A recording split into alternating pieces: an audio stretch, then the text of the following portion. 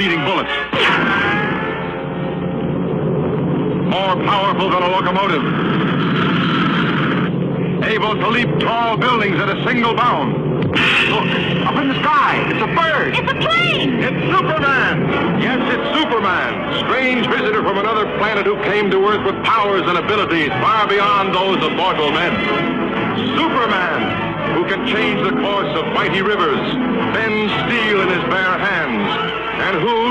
as Clark Kent, mild-mannered reporter for a great metropolitan newspaper, fights a never-ending battle for truth, justice, and the American way.